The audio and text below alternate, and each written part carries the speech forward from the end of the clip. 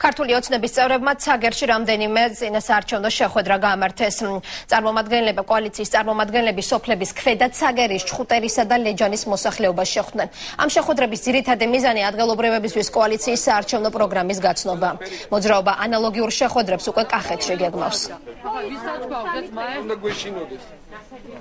ყოველთვის ვღელავ ხოლმე, იმიტომ რომ მაინც სუნგონია, რომ აი ეს ინფორმაციული მოკადა, რომელიც იყო გამოწვეულია მხოლოდ ნაციონალური არხების ძალიან მიკერძოებული მუშაობით, ცუდა დაგვხვდებოდა წინ, მაგრამ ჩემ გაოცებას არ აქვს ხოლმე საზღვარი, როცა ხედა ძალიან კარგად გაცნობიერებულ მოსახლეობას.